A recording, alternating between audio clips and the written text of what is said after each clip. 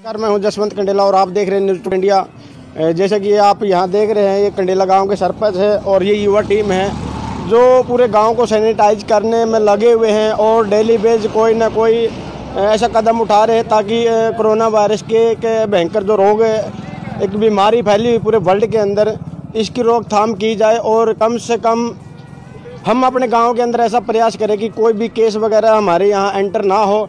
और पूरे गाँव को इस कोरोना जैसी भयानक बीमारी से बचा सके। तो अभी करते हैं बात सरपंच साहब से। सरपंच साहब नमस्कार। नमस्कार जी नमस्कार। सर कैसा चल रहा है? तैयारियाँ? तैयारियाँ पूरे जोरों से चल रही है। पहले भी गाँव में तीन चार दिन लगातार पहले सैनिटाइज का छिड़काव करवाया गया और बीच में नाकाबंदी का और आज से फिर शुरू किया जा रहा है। तो जैसे कि लॉकडाउन चला हुआ है इस लॉकडाउन पे लोगों का क्या रुझान है गाँव के अंदर? लॉकडाउन जो चला हुआ है गाँव की पूरी प्रक्रिया से लोग अब सभी अपने अपने जो अनुशासन है अनुशासन के अंदर रह रहे हैं। जो भी ज़रूरी चीज़ें हैं उन केवल उनको लाने के लिए घर से बाहर निकलते हैं। जैसे कि अक्सर हर गाँव के अंदर हर गली के अंदर ऐसे व्यक्ति मिल जाते हैं जिसका कि जो रोज़मर्रा का काम करते हैं। और जो लगभग सात से आठ दिन आज लगभग नौ दिन हो गए लॉकडाउन चले हुए कोई ऐसी नौबत तो नहीं आई कि गाँव के अंदर कोई ऐसा परिवार है जो भूख की वजह से परेशान हो? अभी तक गाँव में इस प्रकार कोई भी समस्या नहीं है और जिसके इस कार्य के लिए गवर्नमेंट भी तत्पर खड़ी हुई है और गाँव के जो समाज सेवी हैं युवा मंडल हैं और जो जितने भी गाँव के मौजूद आदमी हैं वो इसके लिए सख्ता प्रबंध करने की तैयारी में लगे हुए हैं। तो क्या सरकार की तरफ़ से कोई ऐसा रिस्पॉन्स आया जैसे कि सहयोग करने का गाँव के जैसे सैनिटाइज करवाया जा रहा है?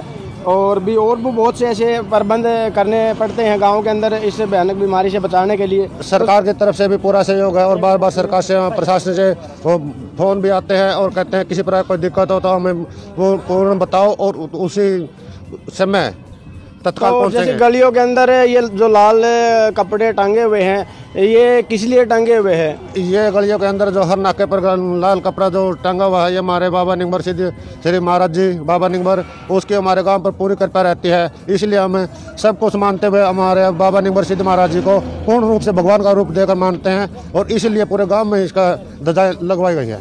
जैसे कि गलियों के अंदर कोई नोटिस बोर्ड लगाए हैं या वैसे ही टंगे हुए या कोई बिठाया गया वहाँ पर? नई नई गलियों के अंदर कोई नोटिस बोर्ड नहीं लगाया हुआ है। नोटिस बोर्ड सरकार की तरफ़ से निकले हुए हैं। सबको पता है कि जो कोरोना वायरस चल रही है इसके लिए हर आदमी हर व्यक्ति हर बुद्ध हर व्यक्ति हर बुद्ध बच्चे को बूढ़े को सभी को पता है। सभी को अनुशासन में रहना है। तो जैसे सैनिटाइजर करवा रहे गाँव के अंदर ये कितने दिन बाद कर रहे हैं? ये दो या तीन दिन के बाद मतलब लगातार तीन चार दिन करते हैं फिर एक दो दिन का गैप दे देते हैं। गाँव के कुछ समस्याएँ हैं, उनको सुलझाने के लिए और फिर दो तीन दिन बाद फिर करवाया जाता है। तो गाँव के लोगों का कैसा रुझान है इस मुहिम में? इस मुहिम में गाँव के लोगों का पूर्ण सहयोग है। तो अभी एक पहलवान है उनसे बात करेंगे। भाई उनका मतलब क्या रिस्पांस है और जो देख रहे हैं? पहलवान जी नमस्कार। नमस्कार भाई साहब। तो कैसा माहौल चल रहा है? बढ़िया माहौल चल रहा है जी। सारे गाँव के बच्चे जितने लग रहे हैं सारे सेवा में लग रहे हैं। और हम इस कोरोना ने भगाना चाहते हैं। तो कोई ऐसा कोई परि- परिवार के अंदर या किसी व्यक्ति पे कोई ऐसा रिस्पांस तो नहीं आया जिससे कि वो ग्रस्त हो? नहीं कोई भी ऐसा नहीं आया भैया। तो बिल्कुल सेफ़ है पूरा गाँव। सारा सेफ़ है।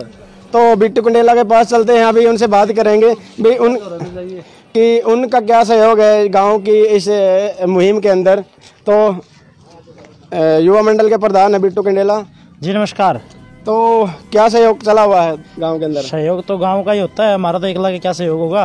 देखो हर बंदे को सहयोग करना पड़ता है कि आपकी एक यूनिटी है एक संगठन है और उसके माध्यम से आपकी जो रिस्पॉन्सिबिलिटी बनती है गाँव के अंदर वो एक सहयोगी मानी जाती है।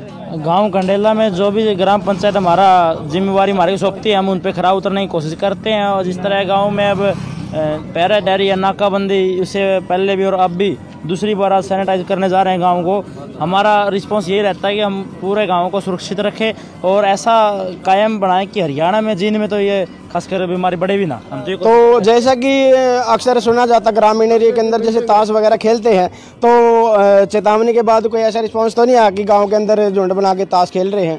ना जी, अब कोई गाँव में कोई ताश नहीं खेल रहा है कोई हुक्का पे नहीं बैठता। हमारी सबसे हाथ जोड़ के रिक्वेस्ट होती है कि आप इस माहौल ऐसा ना बनाएँ कि गाँव में एक गाँव का गलत मैसेज जाए हमारी रिक्वेस्ट रहती है सभी से और लोग उसको पूर्ण रूप से निभा रहे हैं। जैसा कि आप देख रहे हैं, कंडेला गाँव के अंदर खड़े हम और यहाँ की जो रिपोर्ट है और यहाँ के जो सरपंच है और भी जो युवा है, उनसे हमने बात की और आपको बताया और दिखाया कि यहाँ पर जो लोग हैं वो कैसे एक्टिव हैं इस कोरोना जैसी भयानक बीमारी को लेके।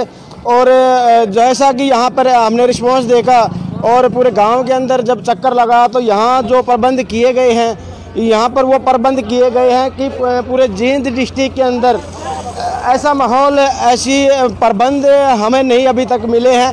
तो देखते रहिए जसवंत कंडेला के साथ न्यूज़ टुडे इंडिया, जय हिंद।